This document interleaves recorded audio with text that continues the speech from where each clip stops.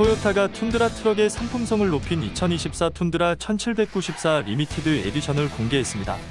토요타는 이미 툰드라 캡스톤 트림을 통해 럭셔리 제품 구성을 갖춘 하이엔드급 툰드라를 공개했지만 이번엔 또 다른 영역의 툰드라를 만들었습니다. 1794 리미티드 에디션은 단 1500대만 만들어질 예정이며 각 모델에는 고유 번호가 부여됩니다. 여기에는 향상된 오프로드 기능과 맞춤형 가죽 등을 더한 인테리어 업그레이드가 더해집니다.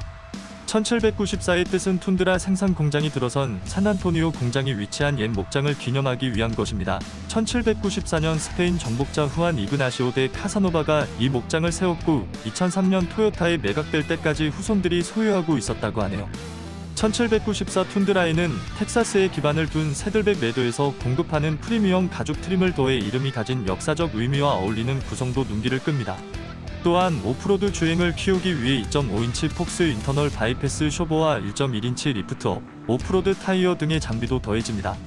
파워트레인은 3.5리터 V6에 전기 모터를 결합해 437마력을 내는 하이브리드 구성히트 적재함 등이 달려 나옵니다. 1794 에디션은 내년 봄 판매를 시작한다는 계획이며 보다 정확한 가격과 트림 구성은 판매 시기에 맞춰 공개될 예정입니다. 지금까지 미국 현지 자동차 전문지 모터미디어 코리안의 유튜브 채널 MMK 기어였습니다. 좋아요와 구독, 알림 설정도 꼭 부탁드릴게요. 감사합니다.